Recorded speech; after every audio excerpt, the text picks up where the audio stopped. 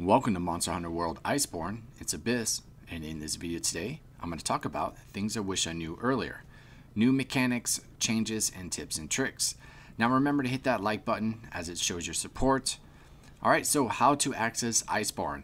In order to access the new Iceborne story and quest, players must have completed the main story campaign from Monster Hunter World and reach Hunter rank 16.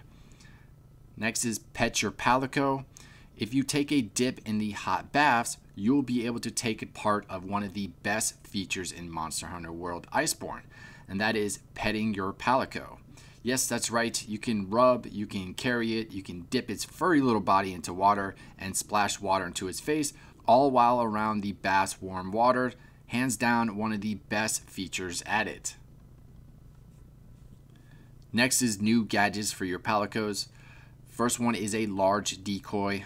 This new gadget will allow your Palico to summon a decoy on the battlefield. This decoy will draw the attention of the monster away from the player. Next is a Meowcano. The Palico will be able to bring out a jar-like cannon that will shoot fire bombs everywhere. Alright, so the Vigor Wasp got a big upgrade too, which will now be able to instantly revive a hunter if they faint. Now this is good and bad. The bad about it is it'll revive your hunter right away, but if the monster is still continuously attacking you, you will get carded anyways. So hopefully they'll improve on this a little bit better. Next up is Raider Rides. Now you can ride a Tail Raider monsters with your Palico. Select Raider Ride Call from your item bar to summon the monster. Press the action button while next to it to get on it.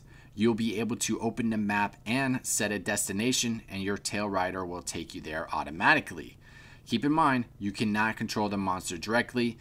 If you don't set a destination, then the monster will follow tracks. And last, the monster will get tired if you ride them too much.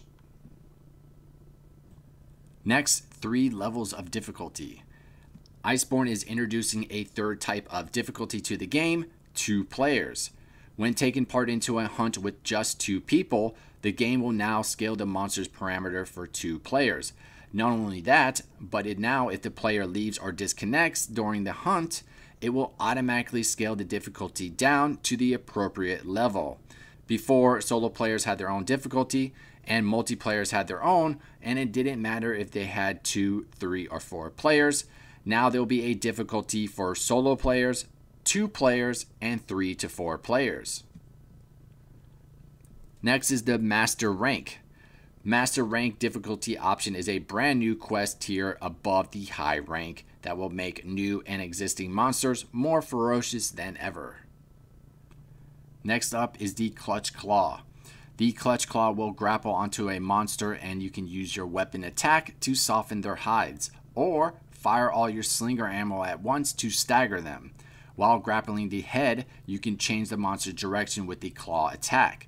In addition to the clutch claw, there will also be new weapon actions. A good example is with the lance, how you can use the counter thrust, and if you time this right, you will counter and grapple up onto the monster to do damage. Next is the new Gathering Hub. Seliana is a new base built as a headquarters for investigations. It will feature all the same facilities such as resources, the research center, the smitty, and much more. It will have some new features such as the hot spring bath, sauna, and foot bath. Basically, everything will be more accessible so you don't have to leave the hub in order to make other changes. Next is View Mode. View Mode will allow players to gather hunters and palicos together for photos while changing their poses. This feature has been popular among some developers and publisher and is better known as Photo Mode allowing players to take screenshots of their characters and environment. Next is the craft all shortcut. Instead of crafting one by one and taking forever, you can now set the crafting shortcut to craft all. This will definitely save you a ton of time and help you out during the hunt. The layer armor. You can now forge layer armor with the Iceborne expansion. This will allow you to wear your favorite armor set while keeping the effects of your current armor equipped. Next are the nerfs and buffs. There is a lot of nerfs and buffs, but here are a couple that I noticed. Great sword jumping slash attack has decreased. Heavy bow gun cluster bomb attack power has decreased. And the bow, I noticed everything got decreased. It looks like they nerfed the stuff that speedrunners use. I will have a link in the description below if you want to check out all of them. There is a bunch. And last, I will show you the 19 new monsters coming to Iceborne, except for the new Nergigante. Most likely there will be more, but this is what I have for now. Plus, keep in mind, I will have a how to measure guide on the mini and giant gold crowns for all the new monsters. Other than that, I hope you all enjoyed the video. Don't forget to like and subscribe to support the channel, and I will see you next time.